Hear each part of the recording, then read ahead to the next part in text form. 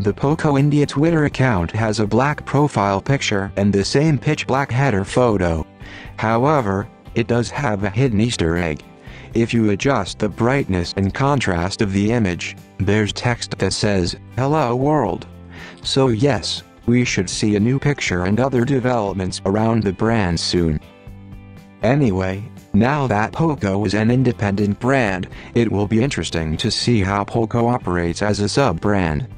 There have been a lot of rumors around the next Poco smartphone, the Poco F2, or the Poco X2. The truth is, no matter what they call it, the next Poco smartphone whenever it arrives, will have a lot of hype because people have been waiting for the next Poco smartphone since what seems like forever.